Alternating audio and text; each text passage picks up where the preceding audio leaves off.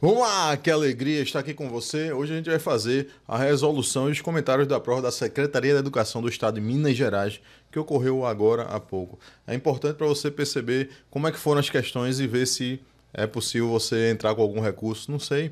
É, na avaliação da prova, a gente percebe que uma questãozinha, ao nosso ver, na nossa humildade, na nossa singela humildade, ela está sem gabarito, tá certo? Uma das questões a gente encontra pelo menos a gente não encontrou aí um gabarito plausível para uma das questões, tá certo? E uma outra questão. Bom, você, você vai perceber. Veja só, vamos embora que tempo é precioso, o seu e o meu. Vamos lá. Aqui a gente tem o seguinte, ó. É, percebe que ele fala, é uma questãozinha que fala sobre os polímeros, né? Então ele pergunta qual o monômero dá origem a esse polímero. Meu querido e minha querida, perceba o seguinte: quando a gente conta aqui, ó, faz a contabilidade dos carbonos, 1, 2, 3, 4, 5, 6, 7, 8, 9, 10, 11, 12. Percebe que você tem um total de 12 carbonos, não é isso? Com um total aqui de 3 cloros, a gente pode esperar que este, esta unidade é, polimérica seja é, relativa a um composto com um total de quatro carbonos, não é isso? Porque você divide aqui, ó. Se você tem três cloros, você pensa, seria um cloro para cada monômero, não é isso? Então, se você divide a quantidade de carbonos 12 por 3, dá um total de 4. Então, você já pensa, é, o, o produto que dá origem a esse composto deve ter um total de 4 carbonos, certo? É, nesse total de 4 carbonos, o cloro vai entrar aqui, ó, certo? Na posição aqui 2, vamos falar assim. E aí você já vai ter um indício aqui, né, como resposta 2 cloro buta 1 3 dieno. E o que acontece? Percebe que você vai ter exatamente as ligações aqui, ó, nesse monômero. Não é isso? Então, ó, você vai ter algo dessa forma. Tudo bem? Aí você pergunta, Cláudio, como é que pode isso acontecer? Percebe que quando você tem, por exemplo, a ruptura dessa ligação, ou seja, quando você rompe aqui a ligação, rompe a ligação π, você forma exatamente o radical, não é? Então você vai formar um radical dessa forma assim, ó. Percebe que aqui eu vou ter o cloro, certo? Aqui a gente vai ter um elétron livre, um elétron livre, elétron livre, elétron livre. Percebe? Com o rompimento da ligação π. Perceba o seguinte, esses dois elétrons π aqui, eles se acoplam. Quando eles se acoplam, eles vão formar uma nova ligação, que vai ser a ligação π, ou seja, uma nova ligação π vai ser formada aqui, ó, certo? Com as nuvens eletrônicas desses dois elétrons livres. Então você vai ter algo dessa forma. Então você vai ter o cloro aqui e você vai ter os elétrons livres aqui na extremidade, formando um radical aqui duplo. O que acontece? Esta unidade monomérica, ela vai interagir com outra dela, com outra, com outra, formando o polímero. Então veja só, você vai ter uma outra dela aqui, ó, que vai ter uma outra dela aqui, ó, certo? E assim sucessivamente.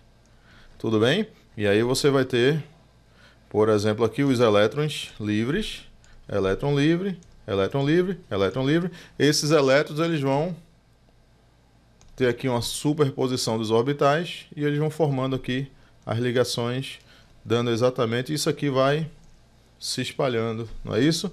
Então você vai ter um polímero formado a partir deste monômero. Resposta correta, letra C. Tudo bem? Tudo certo, nada errado?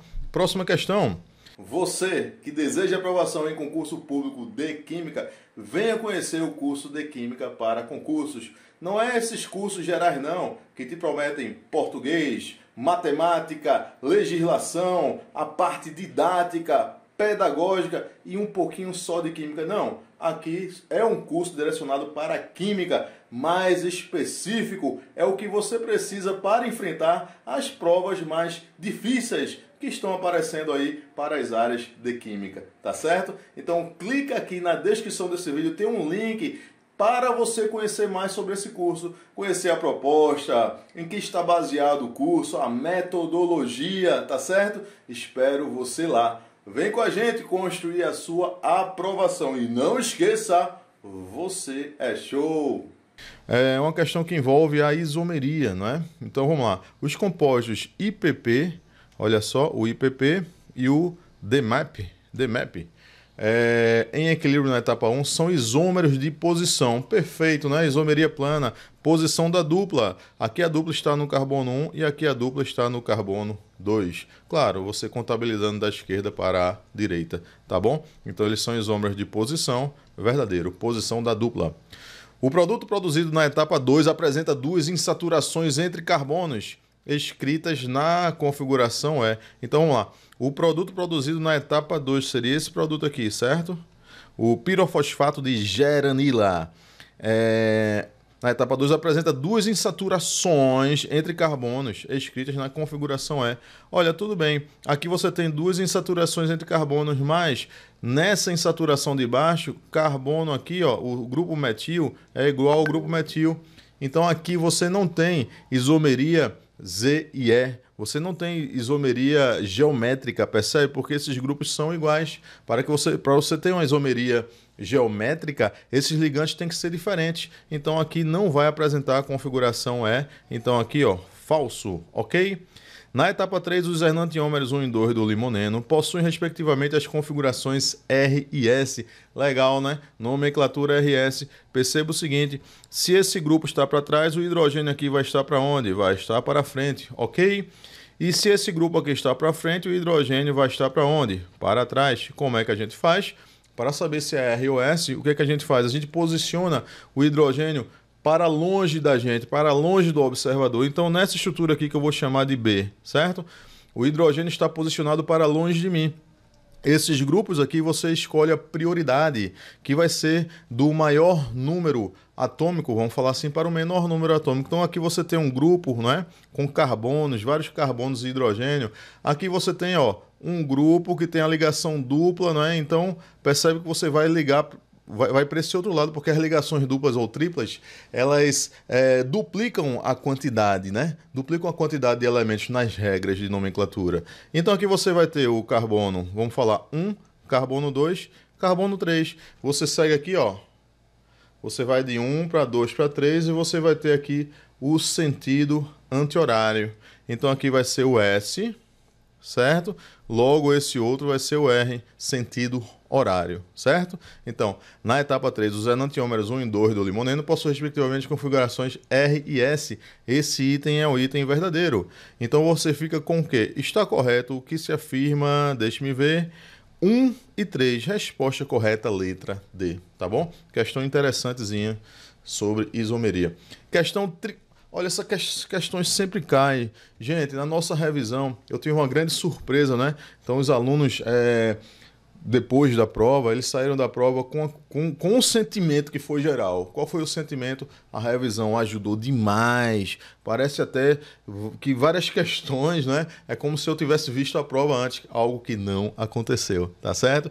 Quem foi meu aluno, quem participou da revisão, quem é meu aluno e participou da revisão sabe. O que a gente fez antes da prova preparou demais para você chegar nesse momento mais inteiro, não é não? Então olha essa questãozinha aqui, ó. Questão de geometria molecular. SF4, como é que a gente faz? Vamos embora, rapidinho. A gente pega aqui o enxofre, os seus seis elétrons, por ser da família 6A ou grupo 16, e você conecta aqui, ó, os quatro flúors, ok? E aí você sobra aqui com um par eletrônico. Essa estrutura é uma estrutura de quê?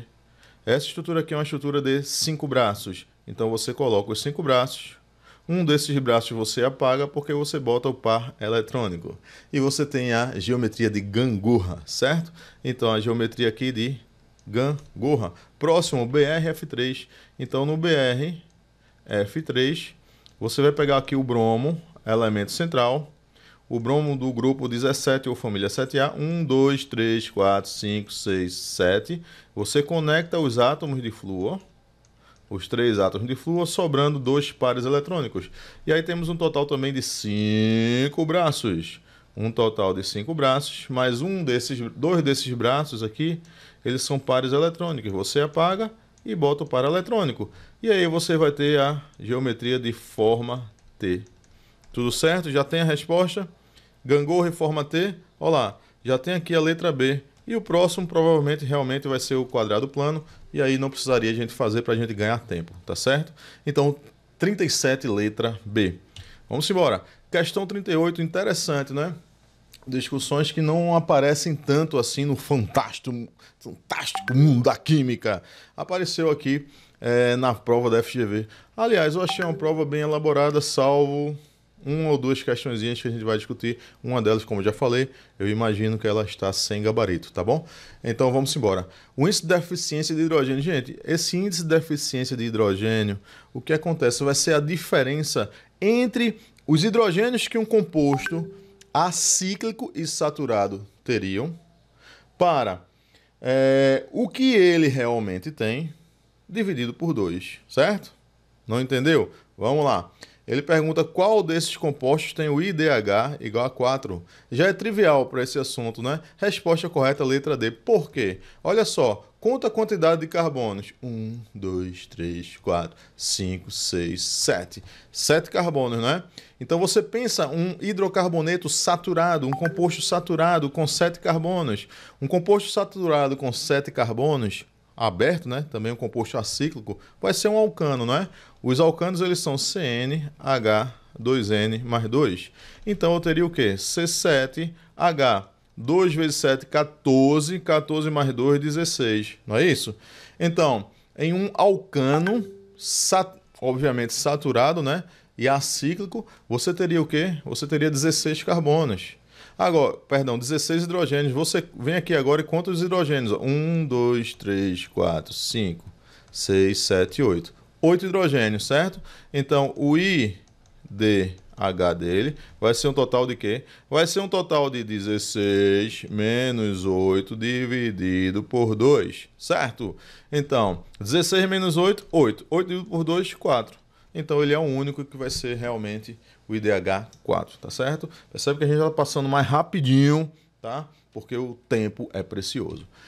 Lá, questão 39, questão de fórmulas químicas. Percebe que a gente trabalhou, a gente revisou demais isso, né? Na nossa, nos nossos momentos antes da prova. E eu falei, a probabilidade de cair uma questão dessa é muito grande, análise por combustão. Percebe que nesse, nesse, nessa questão você vai ter o seguinte: você tem um composto formado por carbono, hidrogênio e oxigênio, não é isso? E você não sabe a quantidade de carbono, hidrogênio e oxigênio. Então CXHYZ, quando reage com oxigênio, combustão completa, forma CO2 e água. Então perceba que todo o carbono que sai daqui está aqui vem para cá, não é isso? E todo o hidrogênio que sai daqui vem para cá. E com isso você acha a quantidade de carbono e hidrogênio. A gente trabalhou demais isso. Então vamos embora achando o número de mols de carbono, que vai ser igual ao número de mols do CO2. Tudo bem, mas quem é o número de mols do CO2? É a massa sobre a massa molar, não é isso? Então, o número de mols de carbono, como é o número de mols de CO2, vai ser a massa formada do CO2, ó, 39,6 miligramas, ou seja, 39,6 miligramas, ou seja, vezes 10 a menos 3 gramas, dividido pela massa molar do carbono, do, do gás carbônico, não é? que é 44, não é isso? 44 gramas por mol.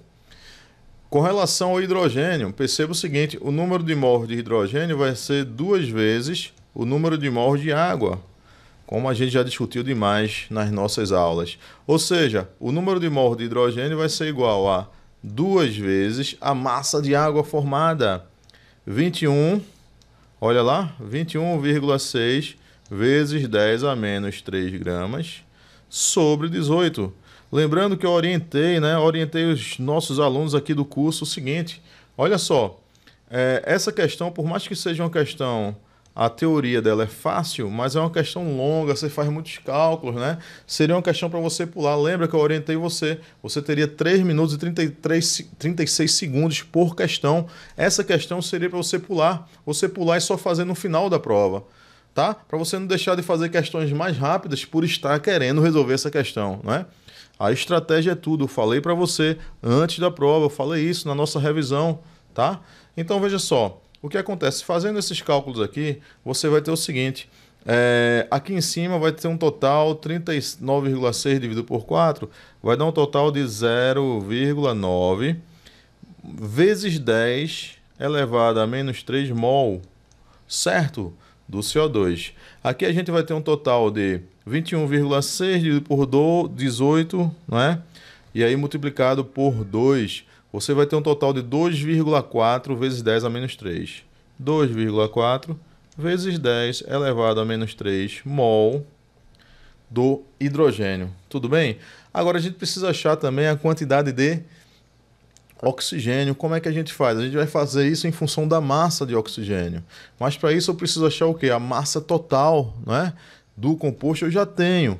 E aí, ó, da massa total subtraído as massas do carbono e do hidrogênio, eu vou achar a massa de oxigênio, certo? Então vamos lá. A massa de carbono vai ser igual ao quê? 0,9 vezes 10 elevado a menos 3, certo? Mol. Multiplicado pela massa molar do carbono, que é igual ao quê? 12 gramas por cada mol. Então você vai achar aqui a quantidade, né? Ou seja, a massa de carbono. 0,9 vezes 12. Quando você multiplica aí 0,9 por 12, você vai ter um total de 19,8. 19,8 não, perdão, 10,8. 10,8 vezes 10 elevado a menos 3 gramas. Certo? Com relação ao carbono. A massa do hidrogênio vai ser igual à quantidade em mols dele, 2,4 vezes 10 elevado a menos 3 mol, multiplicado pela sua massa molar, que é 1 grama por mol, certo? Mol corta com mol, você vai ter um total de 2,4 vezes 10 elevado a menos 3 gramas, certo? Do hidrogênio. Ou seja, resumindo, você vai ter um total de 10,8 miligramas de carbono e 2,4 miligramas do hidrogênio. Quando a gente soma essas duas quantidades, 2,4 com 10,8, você vai ter um total de 13,2, certo? Então você vai fazer o seguinte: a massa de oxigênio vai ser os 18 miligramas menos os 13,2, certo? Menos os 13,2. Então você descobre que a massa do oxigênio, 18 menos 3,2, você vai ter um total de 4,8 miligramas. Ou seja, 4,8 vezes 10 a menos 3 gramas. Então agora você acha o número de mol de oxigênio. Vai ser igual ao quê? Vai ser a massa, 4,8 vezes 10 elevado a menos 3 gramas, no caso, né? Dividido por 16, que é a massa do massa molar do oxigênio, 16 gramas por mol. Então, quando você faz 4,8 sobre 16, você vai ter um total, deixe-me ver aqui, de 0,3, certo? Então, isso aqui vai dar igual a 0,3 vezes 10 elevado a menos 3 mol. Tudo bem? Meu querido e minha querida, perceba que você vai ficar o seguinte, ó. Olha só a quantidade em mols que você vai ficar. Um é carbono é 0,9 vezes 10 a menos 3, hidrogênio 2,4 vezes 10 a menos 3 e oxigênio 0,3 vezes 10 a menos 3. Você pode aqui, ó, dispensar esses 10 a menos 3, né? E você pode, esse, no, esse zero, você pode multiplicar por, por 10 aqui, né? Esse, esse 0,9 vira 9, esse 2,4 vira 24, esse 0,3 fica 3. Não é não? Aí você chega assim, ó. C9, né? H24, oxigênio 3. Você divide pelo menor, lembra das nossas aulas? Dividindo pelo menor, divide por 3. Então vai ficar C3 H8O. Certo? Resposta correta, letra C. Percebe que é uma questão fácil, mas é uma questão trabalhosa, não é não? Vamos agora à questão 40, o que me deixa muito feliz ter logo antes da prova resolvido também uma questão muito parecida com essa, que foi a questão da cidade, do município de Paulínia, né? São Paulo. Então veja só, FGV tem botado questãozinha dessa que traz o seguinte questão envolvendo balanceamento de equações. Ele fala o seguinte, olha só. É... Nitrato de potássio, você vai ter aqui o KNO3, KNO3 reagindo com carbono. Então aqui o carbono mais o enxofre, havendo a formação, deixe-me ver, nitrogênio gasoso, N2, mais é, gás carbônico, CO2, formando também carbonato de potássio, K2, CO3, formando também o sulfato de potássio, K2, SO4. Veja só, utilizando a, o balanceamento por oxirredução, temos que o nitrogênio aqui tem carga 5+, certo? Indo para zero, temos aqui uma reação de redução, né? Então, a redução, o que dá delta, variação número de elétrons, de 5 para 0, 5 multiplicado por 2 nitrogênios, dando um total de 10 elétrons, ok? Fazendo agora a oxidação, percebe que o carbono ele sai do zero e vai para o 4+. Então, temos aqui uma oxidação, dá um delta aqui de 0 para 4, 4 multiplicado por um carbono, dando um total de 4 elétrons. Perceba também que você poderia pensar assim, ó, o carbono indo de zero também aqui para 4 mais no carbonato.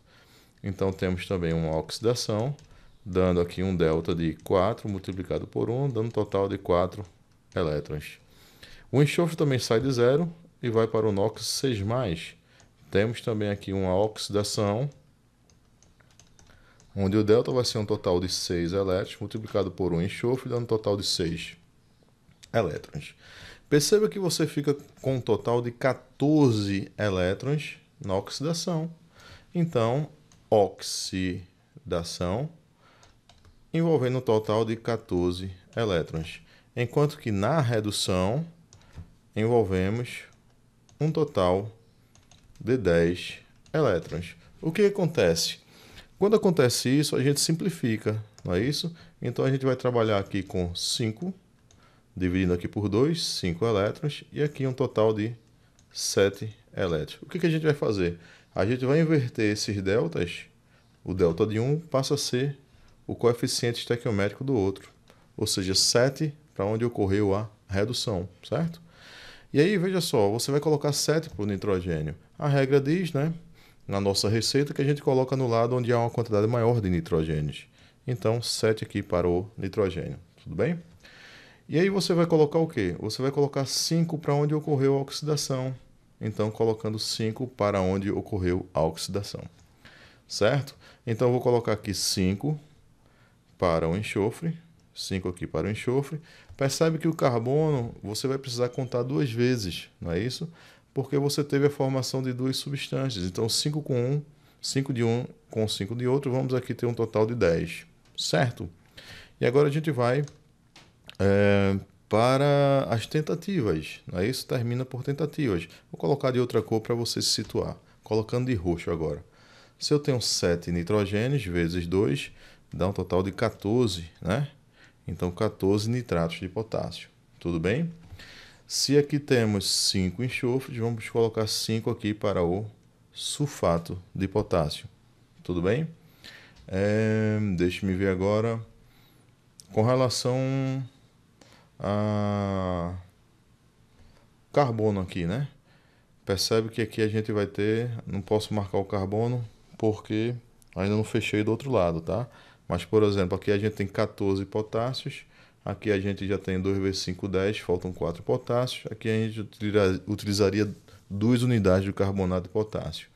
Dando aqui 2 carbonos, faltam 8 carbonos, aqui entraria 8 CO2 e aí completaríamos o nosso balanceamento. Com relação aos oxigênios, 3 vezes 14, temos um total de 42 oxigênios de um lado, aqui 2 vezes 8, 16 oxigênios, mais 2 vezes 3, 6 oxigênios, e aí 4 vezes 5, 20, né? Então 6 com 6, 12 vai 1, dando um total de 42 oxigênios, tudo certinho.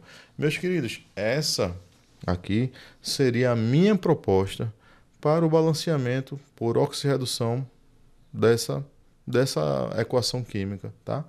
Percebe que se você for contabilizar a quantidade de elétrons, a gente sabe que a quantidade de elétrons perdidos tem que ser igual à quantidade de elétrons ganhos. Né? Então, por exemplo, se você for contar a quantidade de elétrons aqui da redução, né, os elétrons ganhos, você tem aqui ó, de 5 mais para zero, temos um total de 5 elétrons, ok? 5 multiplicado por 14 dá um total de 70. Confere comigo? Dá um total de 70 elétrons. Fazendo agora para a oxidação. Aqui temos um total de... O carbono ele sai de 0 e passa a 4 mais. 0 para 4 mais, não é isso? Então, 4. 4 vezes 10, dando um total de 40 elétrons, certo? Agora o enxofre, ele sai de 0 e vai para 6 mais. 0 para 6 mais, 6. 6 vezes 5, 30. Né? Porque foram 5 enxofres. 30 elétrons somou, dando um total de 70 elétrons. Ou seja, os elétrons da oxidação eles somam né, 70, assim como os elétrons da redução somam 70. Então, esse é um balanceamento plausível, entende? Sendo que quando você soma aqui, ó, esses menores índices aqui, tá? Esses índices, você não vai encontrar o que foi, digamos assim, o que trouxe no edital, que foi aqui 37. Tudo bem? Pesquisando esta equação química, a gente encontrou, né, como fonte de nossas pesquisas, um outro balanceamento, uma outra proposta. A gente encontrou isso aqui, ó, KNO3, carbono, enxofre, N2, CO2, K2, CO3, K2, SO4, 10, oito, três, dois, dois não, nitrogênio aqui foi cinco, CO2 seis, carbonato dois e o sulfato três, certo? Por isso aqui, por esse, por esses valores encontrados, né, você somando aqui, ó, esses valores, você realmente encontra um total de 37, certo? Mas eu simplesmente, de acordo com as discussões químicas, eu não chegaria nesse resultado, tá certo? Não sei o que você pensa, como você fez, como você gostaria de proceder com relação a essa questão. Eu estou te falando que eu, como concurseiro, eu não encontrei o valor de 37, eu encontrei um valor maior do que 37. Claro, né? Eu iria deixar um, um gabarito, né? Eu iria, ter, terminaria marcando 37. Mas, ao meu ver, a princípio, se eu errasse essa questão por alguma forma, eu iria entrar com recurso, tá bom? Mas não é essa não a, questão que realmente eu gostaria de comentar que, tá, que está com o gabarito incorreto. Lá para frente, daqui a um pouquinho você vai, vai encontrar a questão. Vamos seguindo comigo. Veja só, questão de número 41. Vê só. Então você tem, por exemplo, aqui uma análise de uma amostra de 120 né, gramas da água do manancial, tem 15 miligramas do contaminante, tá certo? Com esses resultados a gente vai achar a concentração em partes por milhão, comparar com os valores da tabela para saber se a água é mole, levemente dura, dura ou muito dura. Tudo bem? Então vamos lá. Você tem 15 vezes 10 elevado a menos 3 gramas, que são 15 miligramas é, do contaminante, em 120 gramas da amostra. Como é partes por milhão, qual é a partezinha que eu vou ter em um milhão de partes da amostra? Não é isso? Então a gente faz aqui meio pelos extremos. x vai ser igual a 15 vezes 10 a menos 3 multiplicado por 10 a sexta sobre 12, 120, né? 12 vezes 10 a primeira, ok? Então esse x vai ser igual a 15, que é 3 vezes 5, vezes... Aqui você vai... O 10 a primeira sobe, 10 a menos 1, né? 10 a menos 4 com 10 a sexta dá 10 a segunda, ok? Sobre 3 vezes 4, ok? Então aqui cortou, Cortou? X vai ser igual. 5 dividido por 4 dá 1.25. 1.25 vezes 2 dá 125, no caso ppm, certo? Percebe que esse valor ele vai estar entre 101 e 200, ou seja, a água vai ser o que? Classificada como dura. Tudo certo, nada errado? Então, tranquilão. Questão 42. Ele fala sobre a espontaneidade processo espontâneo. Veja só, a espontaneidade, você vai trabalhar com a variação de energia livre de Gibbs. Né? Percebe que na nossa revisão falei sobre isso.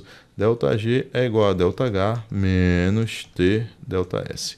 Veja só, para uma reação ser espontânea, o delta G tem que ser negativo, menor do que zero, certo? Aqui ficou facinho, né? Porque veja só, para o ΔG ser negativo, para o processo ser espontâneo, tem dois fatores que podem contar, né? O ΔH sendo negativo, não é isso? Porque o ΔG tem que dar negativo, certo?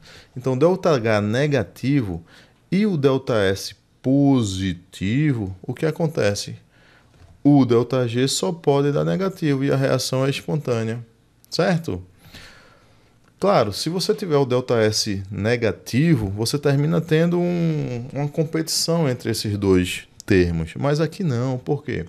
Como o delta S é positivo e eu tenho a temperatura absoluta que é sempre positiva, mas você tem esse fator negativo. Esse fator negativo termina negativando todo esse termo. Então você vai ficar negativo somado com negativo. Negativo somado com negativo, você vai ter algo mais negativo ainda. Tudo certo? Resumindo, quando o ΔH é negativo e o ΔS é negativo, o ΔG só pode ser negativo independente da temperatura. Então fica muito, ficou muito fácil resolver essa questão, não é isso? Você aqui ó, já marcar o processo 2 é um processo espontâneo. Tudo certo? Você não precisa nem precisaria nem mexer com a temperatura, fazer aqueles cálculos para saber, blá, blá, blá. Não, não precisaria. Tá certo? Então ficou muito fácil essa questão. 43. Ele fala, ó, é, no, no século reações químicas, né? característica da FGV. Então ele fala, ó, segundo esse princípio, em reações como a combustão da matéria orgânica ou a queima dos metais, ocorrer a liberação de flogis para para Atualmente tais processos vão ser classificados toda combustão e toda queima de metais são reações de oxirredução. Você tem um agente oxidante que é o oxigênio, né? Ele vai oxidar os materiais são reações de oxirredução. Aí não tem o que fazer, questão tranquila, tá? Facinho. Vamos lá. Questão de reconhecimento também, muito trabalhado para a gente. A gente falou, vai cair uma questãozinha dessa. Facinho, né? Você tem a função álcool aqui, e aqui a função éster, carbono duplo oxigênio, oxigênio ligado também aqui a carbono, tá certo? Então, sem problema nenhum, função álcool e função éster, resposta correta, letra A. Próxima questão, de oxirredução, também muito trabalhado por a gente. Percebe que você tem aqui é, quatro, digamos assim, quatro frascos em que vão ser colocados aqui é, solução, né? algumas soluções, por exemplo, nitrato de zinco e aqui um eletrodo de prata. Então ele quer o seguinte: em seguida distribuiu cada solução em um frasco distinto, contendo cada um deles uma placa metálica, conforme ilustrado na figura a seguir. Observe ainda a tabela de potenciais de redução. Durante essa aula experimental, os alunos deverão observar a evidência de fenômeno químico. Meu querido, minha querida, o fenômeno químico aí vai ocorrer onde há uma espontaneidade da reação. E quando é que vai haver uma espontaneidade da reação? O metal ele precisa tender a se oxidar, não é? Você não está colocando as espécies metálicas, ele precisa querer se oxidar tranquilamente. Ele se oxidar significa dizer que ele tem um maior, ele precisa ter um maior potencial padrão de oxidação do que o metal aqui, ó, envolvido no sal. Então, por exemplo, para a prata se oxidar perante o zinco, a prata tem que ter um maior potencial padrão de oxidação do que o zinco, correto? Sendo que o que acontece? A gente trabalha sempre com a redução. Olha, se aqui é o potencial de redução da prata, o de oxidação é menos 0,80, certo? O do zinco já vai ser ó, mais 0,76 oxidação. Aí eu pergunto, a prata tem um maior potencial padrão de oxidação do que o zinco? Não. A prata é nobre, então essa reação não ocorre. Já essa reação aqui ocorre, ó, por quê? Porque o ferro tem um potencial de oxidação, ó lá, mais 0,44. Ele tem um potencial de oxidação maior do que o da prata. Então aqui ocorre, ocorre ó, ok, vai ocorrer a reação. Aí, ó, o zinco é menos nobre do que o cobre, também ocorre. Já o cobre não é menos nobre do que o ferro. Essa aqui não ocorre. Tudo certo? Então, frasco 2, frasco 3, Resposta correta, letra C. Questão 46. Questão envolvendo aqui propriedades periódicas. Então percebe que sódio, potássio, rubídio, elementos da família 1A, está aumentando aqui, né? Então qual propriedade que aumenta você descendo o grupo, né? A família 1A ou o grupo 1 da tabela periódica, o raio, né? Então aqui sem é, problema nenhum. Não pode ser energia de ionização, nem eletronegatividade, nem afinidade eletrônica, porque eles caminham, nesse caso, de baixo para cima. Tudo tranquilo também. Questãozinha revisada logo antes da prova. Você que participou da revisão do nosso curso, eu tenho certeza que você se saiu muito legal. Questão 47. Essa é a questão que, ao meu ver, ela está sem gabarito. Percebe que ela trouxe aqui uma, uma particularidadezinha da cinética química. Vamos dar uma lida. Muitas reações químicas ocorrem por meio de mecanismos que envolvem mais de uma etapa, na qual cada uma delas possui sua própria constante de velocidade e energia de ativação. Para a reação em fase gasosa entre óxido nítrico e bromo, BR2, foi proposto um mecanismo de duas etapas a seguir, em que K1, K-1 e K2 representam as constantes de velocidade envolvidas em cada etapa tá bom? A constante de velocidade para a reação entre o óxido nítrico e o bromo, tá? Pode ser expressa em função das, dessas constantes. Então veja só, o que acontece? A gente tem o seguinte, a gente tem uma reação que ocorre em duas etapas, né? E, tradicionalmente, o que, é que a gente faz? A gente cancela aqui ó, o intermediário e a gente obtém uma equação global, não é isso? A equação global seria o quê? Duas unidades do NO é, reagindo com o BR2, não é isso? Formando aqui o 2NOBR, certo? E você encontraria a lei de velocidade. V vai ser igual a K vezes concentração do NO ao quadrado vezes concentração do BR 2, a primeira, não é isso? Considerando essas reações, reações elementares, a reação global você teria essa lei de velocidade. Mas o que ele pede é o seguinte: qual é o valor desse K em função de K1, K-1 e K2, entende? Então a questãozinha que ela não é tão trivial. Você pode encontrar ela, por exemplo, essas discussões é, em livros, por exemplo, como Brown, como Atkins, você encontra essas discussões. Vamos fazer uma discussão dessa? Então veja só, a gente tem que considerar o seguinte: veja só, a gente vai considerar é, a, primeira, a primeira reação na etapa 1. O que, que você tem na etapa 1? Na etapa 1 você vai ter a velocidade de formação do N2O2, certo? Vai ser igual ao quê? Olha só, essa velocidade que eu vou chamar de formação do N2O2 Vou colocar assim: formação N2O2 vai ser igual a constante de velocidade que eu chamo de K1, certo? Multiplicada pela concentração do NO elevado ao quadrado, certo? E aí você tem a primeira etapa. Tudo bem. Você tem que considerar também o fenômeno inverso. Por quê? Porque o NO2 vai sendo consumido. Então eu vou considerar o seguinte: velocidade de consumo, consumo do N2O2. Como é que vai ser essa velocidade de consumo do N2O2? Você vai considerar essa reação inversa, certo? Então, essa velocidade de consumo do N2O2 vai ser igual a K inverso, esse K inverso chamado de K menos 1, tá? Multiplicada pela concentração do N2O2 elevado à primeira potência. Tudo certo? Então veja só. É... Temos a reação direta, a reação inversa. Vamos agora para a etapa 2. Na etapa 2, o que, que a gente tem? A gente vai ter o consumo, né? velocidade de consumo desse N2O2, certo? A velocidade do consumo do N2O2 reagindo com o BR2 formando NOBR. Então vamos embora. Uma nova velocidade de consumo do N2O2 na segunda etapa vamos chamar consumo linha, vai ser igual a K2, né?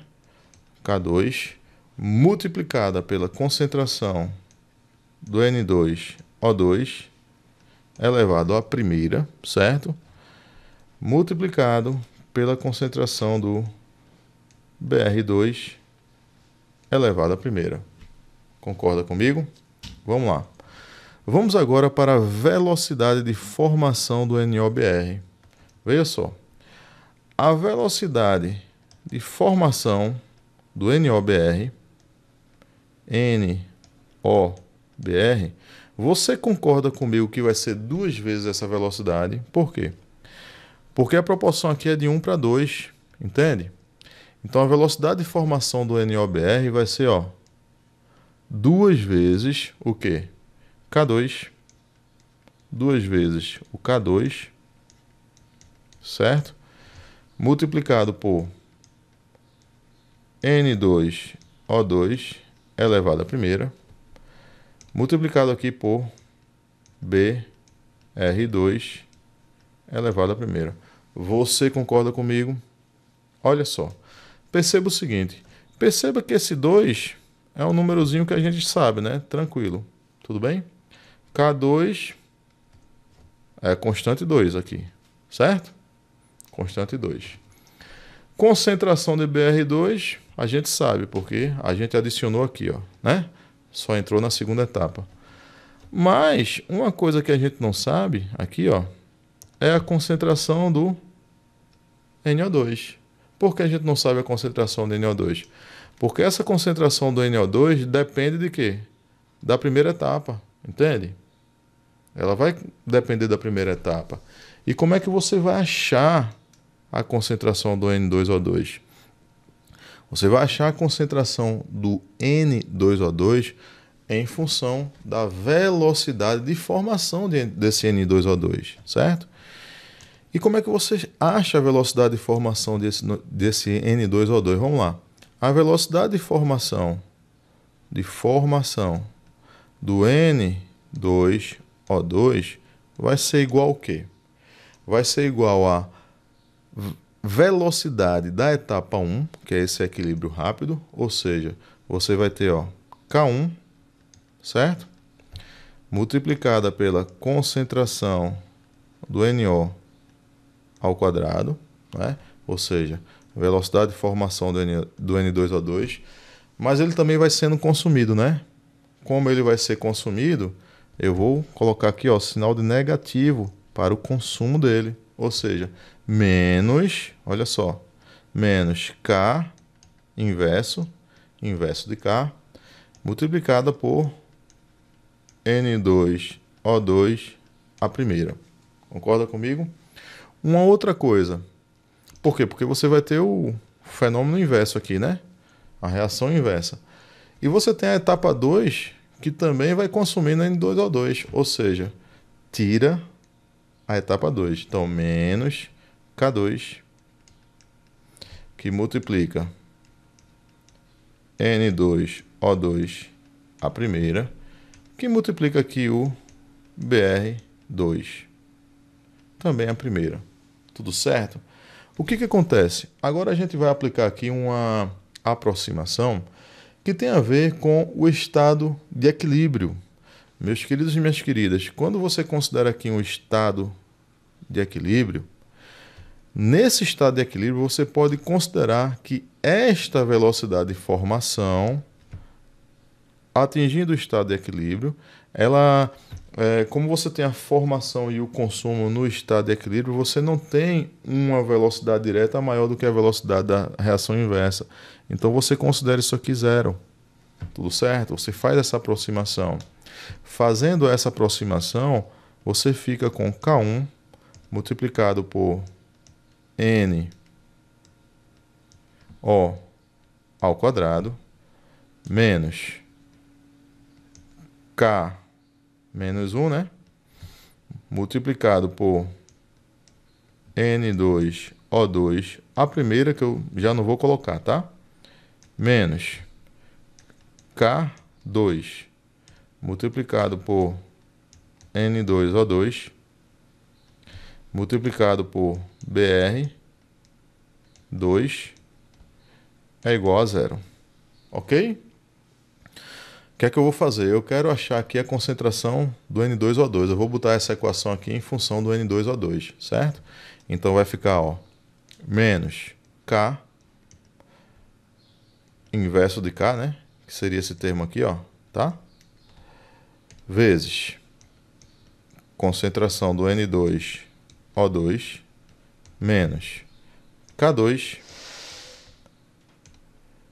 aí concentração do N2O2 vezes concentração do BR2. Percebe que esse termo aqui, ó, ele vai para o outro lado, tá certo? Esse termo aqui ele vai para o outro lado, ele vai negativo, tá? Então isso aqui vai ser igual a menos K1 que multiplica a concentração do NO ao quadrado. Tudo certo? Agora eu vou colocar tudo aqui em função do N2O2, tá? Eu multiplico também tudo por menos 1 para positivar todos os termos, né? Então essa equação aqui todinha, eu vou multiplicar ela por menos 1, tá? Então você positiva todos os termos. E aí eu venho para cá para cima, tá certo? Então fazendo isso, você vai ter o quê? Eu vou multiplicar já por menos 1 e eu vou aqui colocar o N2O2, concentração do N2O2 em evidência, tá? Então vamos lá. Concentração do N2O2. Então, eu divido esse termo né, por concentração do N2O2, eu vou obter o quê? Menos. É, eu já positivei, né? Eu vou, vou ter o K inverso, né? K menos 1, certo? Somado aqui com esse termo aqui dividido por concentração de N2O2, você vai ter o K2, K2 vezes concentração do BR2, certo? Que vai ser igual a K1 concentração do NO ao quadrado. Concentração do NO ao quadrado. Tudo bem? Ou seja, implica dizer que concentração do N2O2 vai ser igual Vamos lá. K1 que multiplica concentração do NO ao quadrado sobre K inverso, K menos 1, mais K2 vezes concentração do BR2, certo? Portanto, a gente arrumou aqui uma expressãozinha, né? onde essa expressão traz a concentração do NO em função das constantes K1, K inverso e K2. Então é isso que você vai substituir, né? Você vai substituir essa concentração do N2O2, você vai substituir aqui, ó, certo? Nessa velocidade de formação. Tudo bem? Então, substituindo, você vai passar a ter o seguinte, ó. Velocidade de formação do NOBR vai ser igual a 2 que multiplica K2, certo? Outra coisa, ó, que a gente pode considerar. A gente considera aqui, nesse estágio, esse K inverso muito maior do que K2 BR2, certo? Então, se K inverso é muito maior do que K2 BR2, significa que essa expressão eu só vou contar com essa parte aqui, ó. Tudo bem? Que é o que eu vou adicionar aqui. Tudo bem? Então, 2K2, concentração de, de, do NO, eu só considero essa partezinha aqui de cima, né? Ó, eu só vou considerar ó, K1 vezes concentração do NO ao quadrado sobre K inverso, K menos 1, certo? Aqui multiplicado por quem? Multiplicado agora, ó, por BR, concentração do BR, 2. No caso aqui é a primeira, certo? Organizando, você vai ter que velocidade com relação à formação do NOBR vai ser igual a 2 vezes K2 vezes K1 sobre o K inverso, que é o K menos 1, multiplicado pela concentração do NO ao quadrado, multiplicado por BR2 a primeira. Perceba, meu querido professor, minha querida professora, que a gente encontra aqui, ó, algo semelhante. Deixa eu botar aqui de outra cor, deixa eu botar aqui, deixa eu ver. Deixa eu botar aqui um um azulzinho. Você percebe que essa expressão aqui é muito semelhante a essa expressão que a gente encontrou, na é verdade? É muito semelhante. Ou seja, este K é exatamente essa composição K2, duas vezes K2 vezes K1 sobre K menos 1. E isso você não encontra nas respostas, percebe? Você não encontra nas respostas 2 vezes K2 vezes K1. O concurso botou como resposta dessa, dessa questão, deixa eu ver, questão 47. Deixa eu dar uma analisada. Questão 47, ele colocou a alternativa A, não é? Mas nessa alternativa A faltou o fator 2 no numerador, entende? Então, no meu singelo entender, essa questão precisa ser anulada por falta de, de alternativa. Precisaríamos de uma alternativa que trouxesse esse fator 2 aqui, ó, 2 vezes K2 vezes K1 sobre K inverso, tá? Então, fica sem alternativa, tá certo? Se você quiser encontrar isso, você vai lá em Cinética Química, no livro do Atkin, já tem fácil lá no capítulo de Cinética Química, tá bom? Questão 48. Questão 48, uma questão de diagrama de fases, tá? Então, sobre condições de 5,1 atm é, e temperatura de menos 56,4, prevalece o equilíbrio entre as fases sólidas e gasosas. Não, aqui você vai ter exatamente o ponto triplo, equilíbrio entre as três fases, ok? Aí, ó, sobre condição de 1 atm e menos 78 graus Celsius, então vamos lá. Vamos agora para 1 atm e menos 78 graus Celsius. Ocorre o ponto crítico? Não, pessoal, não. Ponto crítico é aqui, ó. É o ponto na, no qual é, você vai ter a temperatura crítica e a pressão crítica. Então, falso e falso, sob condição de 73 atm e 31,1 atm, ocorre o ponto de sublimação. Falso também 73 e 31, você vai ter o ponto crítico. Então, todas falsas, resposta correta, letra A. Questão 49 é uma questãozinha bem batida aí pra gente, né? É, ele traz aqui ó, o tempo de meia-vida de 5.600 anos, ele traz a taxa, né? Decai uma taxa de 14 desintegrações, tá? Por minuto, por grama. E ele traz que o artefato ele tem 10,7, ele que é o tempo aqui, né? O tempo total. Vamos embora. É, a gente pode dizer o seguinte, ó, atividade final é igual atividade inicial sobre 2 elevado a x, certo? A atividade final encontrada foi 10,7. É igual atividade inicial, 14 desintegrações sobre 2 elevado a x. Então vamos lá, 2 elevado a x vai dar igual a 14 sobre só um momento, 10, 10,7. Quando você faz 14 por 10,7, você vai encontrar um total de 1,3 aqui, ó. Por isso que ele deu log de 1,3. Então, 2 elevado a x vai ser igual a 1,3. O que é que você faz? Aplica log dos dois lados. Porque você tem uma igualdade de potências de bases diferentes. Então, você aplica log dos dois lados. Então, log de 2 elevado a x é igual ao log de 1,3, certo? Então, utiliza a propriedade dos logaritmos, né? Log de uma potência é a potência vezes o log. Então, x vezes o log de 2 vai ser igual ao log de 1,3.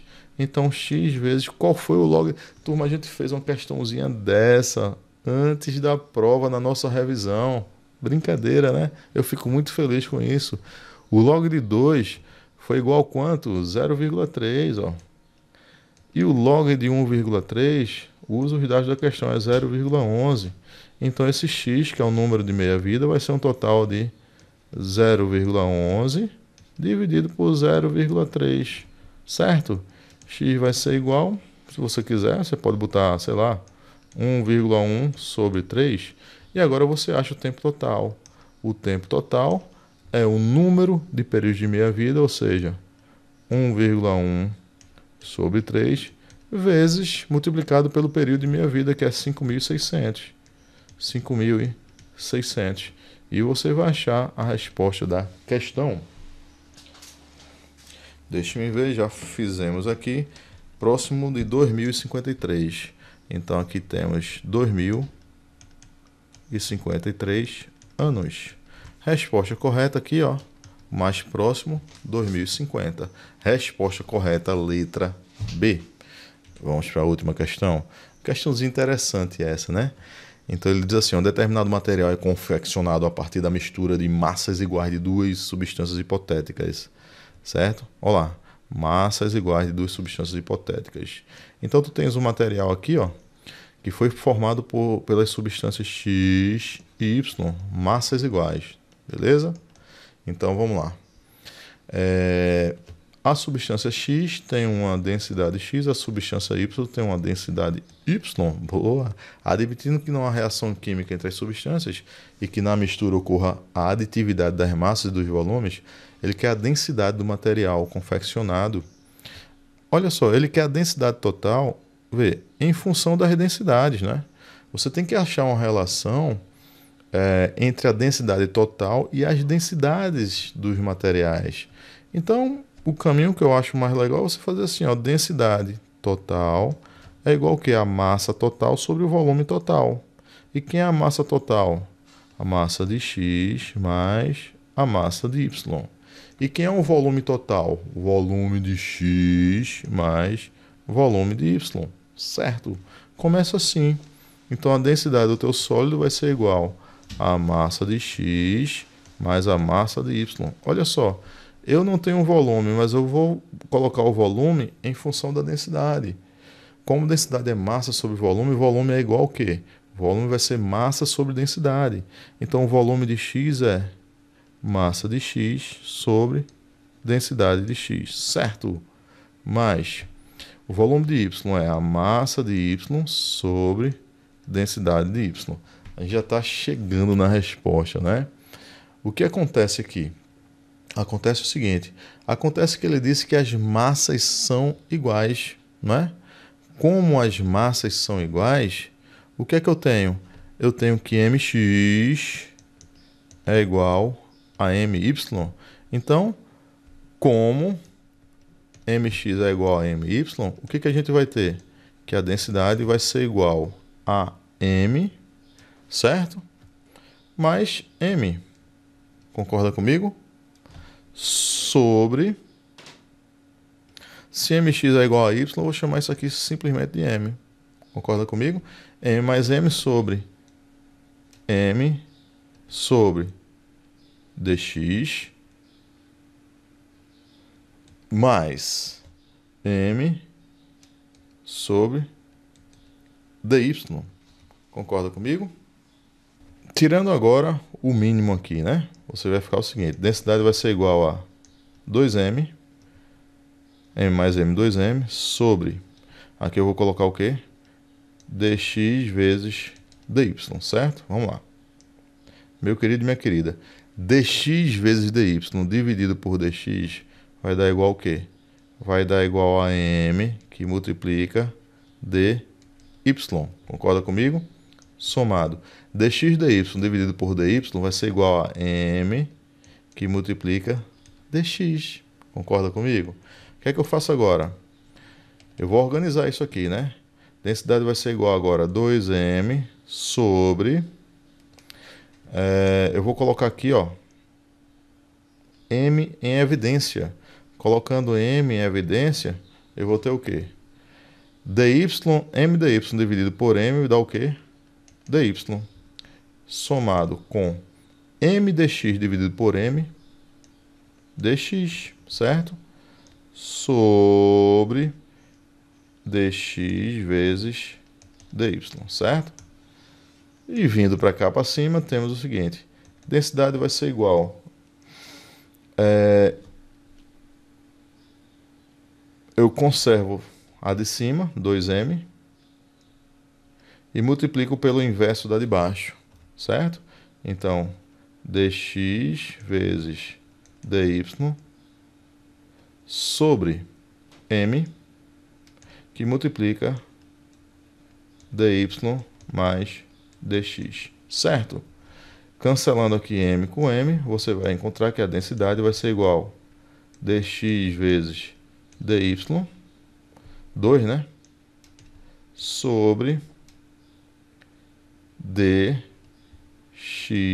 mais dy. Ou seja, duas vezes o produto das densidades pela soma das densidades. Então, 2dx dy sobre dx mais dy, resposta correta, letra C. Tranquilo?